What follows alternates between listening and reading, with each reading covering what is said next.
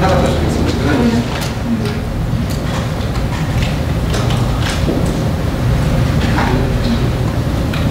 えっと、皆様のご用意、大丈夫ですね、準備の方よろしいでしょうか。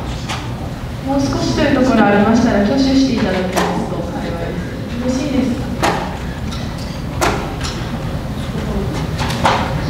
それでは、えっと、開始いたしましょう。少々お待ちください。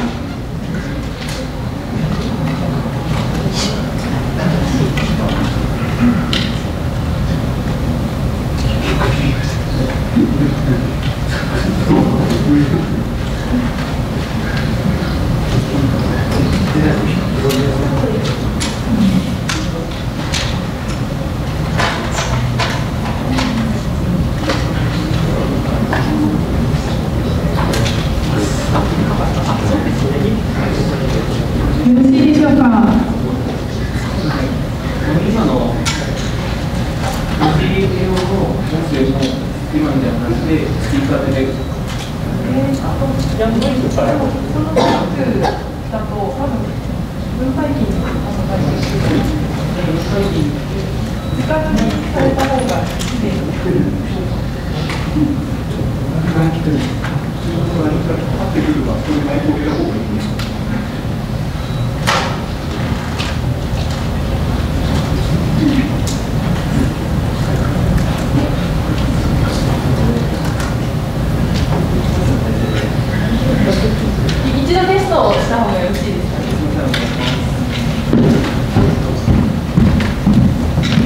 えー、ではテストです。こんな感じです。テストです。よろしいでしょうか？よろしいですか？テストです。テストです。よろしいですかね？はい、ありがとうございます。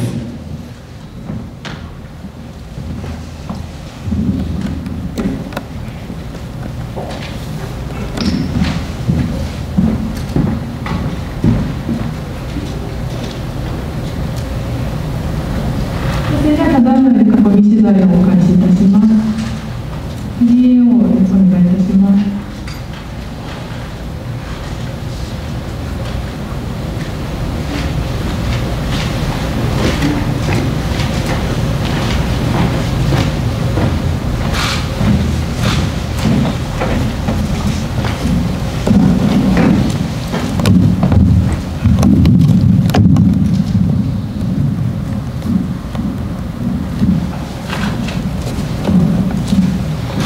それではまずはじめに東京証券記者会を代表しまして、読売新聞社吉田様お願いいたしま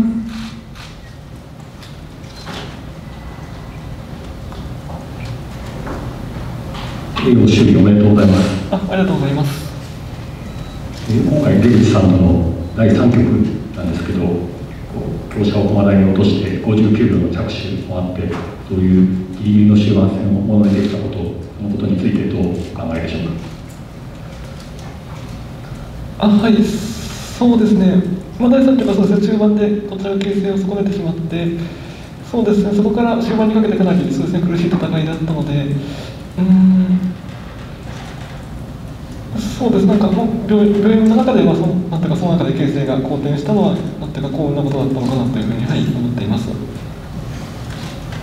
おやつに関する話も少し挨拶でありましたけど、まあ、狙って注文してるわけじゃないと思うんですけど、今回、コロコロ熊さんでしたか、その川村社長からも感謝の言葉もありましたけど、その社長の感謝の言葉とか、どう受け止めました？か。あはい、あそうです、あの、スマイル戦の配信リストのやつ、あの、その藤谷様から、はい、メニューをいただいて、はい、こちらの方でも、まあ、楽しんで、はい、選んでいます。そうですね、あの、うん、私、本当に、私とかも本当に、まあ、大きな楽しみの一つですし、また、なんていうか、それを、まあ、こういう形なんて話題にしていただけるというのは、本当に、こちらとしてもありがたいなというふうに思っています。コロコロクマさんとコロコロシバちゃん、どちらが好みですか。はい、あ、はい、あ、そうですね、あの、前期に、はい、コロコロしばちゃんいただいて、まあ、今期、そうですね、コロコロくまさんの方、いただいたんですけど、いや、本当にどちらも、そうですね、非常にお美味しくて、はい、どちらかの方を持つことができないなというのが、はい、正直なところです。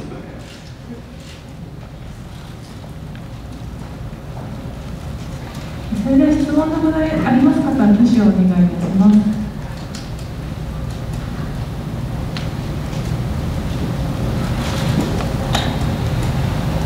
えー、藤井栄を、えー、終式おめでとうございます。あありがとうございます。えっと、えー、藤井栄の最近のトピックといえば、もうあの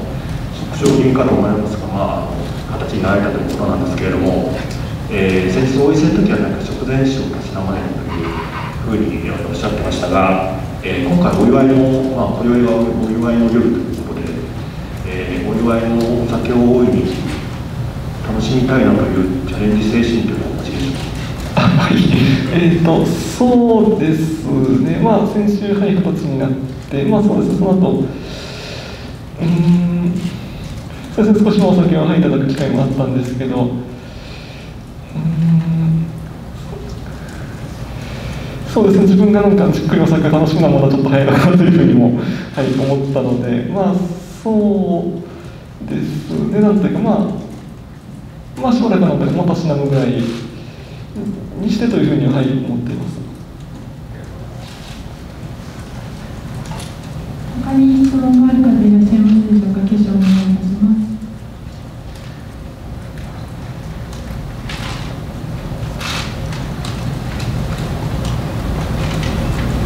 日本テレビの内田と申します。藤尾栄をおめでとうございます。あはい、ありがとうございます。将棋界のトピックについて伺いたいんですけれども、えっと、8月からあの里見香奈女流四冠が、えっと、棋士編入試験を受けられます。えっと、藤井栄をあの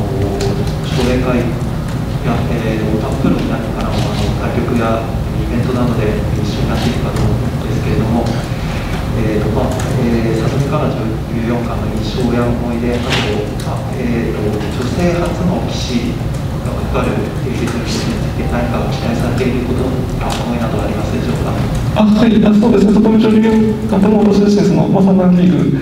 やったり、そうですね、公式戦でも、まあ、対戦したことがあるんですけど、そうですね、特に、最近は非常にまあ公式戦で、まあ、とても活躍されていて、ただ本当に結果内容ともに素晴らしいものを残されていますので、うーん、そうです、また、そうですね、あの来月からの編入試験というのも非常に大きな注目を集めることになるのかなというふうに思いますし、まあ、私自身、まあその中で、そうですね、どのような勝利が見られるのか、はい、期待しています。女流あ女性初の棋士となることについて何か期待されていることってすか？あはい、そうですね、うーん。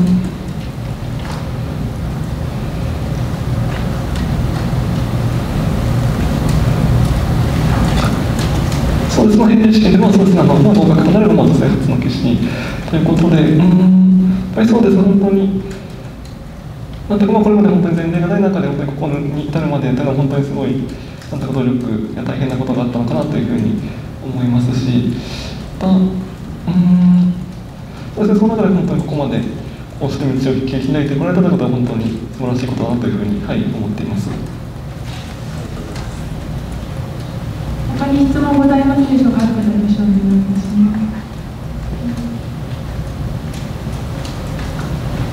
あの朝日新聞のです。えー、ご主義でございあ、ます。はい、ありがとうございます。あの先ほど、えー、主催の藤谷さんがあの、えー、ショートケーキ100周年ということで、まあ、いろいろテーマを設けていろいろ販売されていると伺いました。あの AO もあの20歳ということである種生誕20周年といいますかあの節目の年になるかと思います。あの、えー、この20歳という1年にそのはい設定するテーマのようなものを盤上と、えー、番外とそれぞれ、えー、伺えたらと思うんですけど。あ、はい。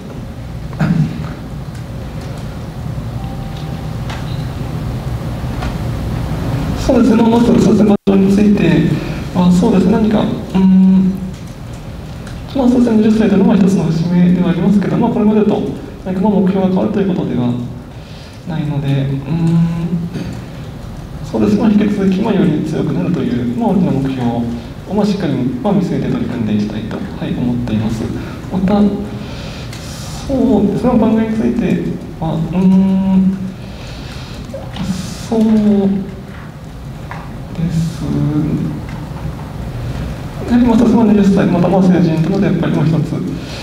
なんていうか、まあ、まあ、大人になったということが言えるとは思うんですけどただやっぱりなんていうか身の回りのことでまだまだなんていうか自分でできないことが本当にまあたくさんあるので、まあ、そういったことをなんていうか少しずつ、まあ、自分でできるようにしていけたらとは、はい、思っています。あの何かその中であのこういうことは私はやるぞとか、えー、挑戦してみるぞみたいなことがあれば伺いたいと思うんですけど。あはいあそうですね。うん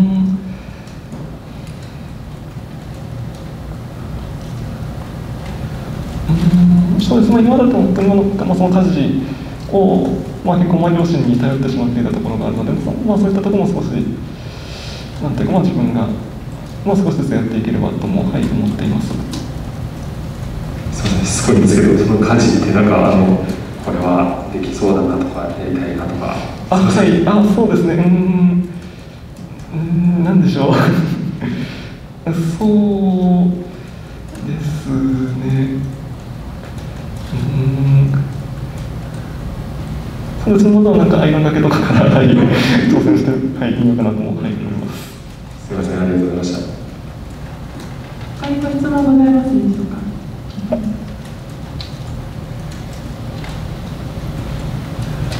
中日新聞の大山と申します。藤井を本日はあの正式でございます。あありがとうございます。あの先ほどですね、あのパソコンのパーツなどを役立ててほしいと副賞を送られましたけれども、はい。あの先般あのヒーローズさんアナリティクスとあの水晶とか言える将棋をクラウド上で動かせるサービスを提供されまして、いまあ今まで以上に多くの棋士がですね、まああのトップのに近い環境で AI 研究ができるようになるかと思うんですけれども、これがどのようにですね今後の、えー機械全体のですねレベルアップにつながるとお考えでしょうか？あはいあそうですねうんそうですまあフルンダースの本当にまあ最新のそのソフトをなんていうかまあよまあ良い環境でなんていうかまあ使うということには少しまあ導入のハードルがあったので、まあ、そのようなそうですねサービスによってまあそのなんていうかまあハードルが下がってより多くの人がそういった環境にアクセスできるというのは本当にまあ素晴らしいことだと、はい、思っています。あそうですね、うん。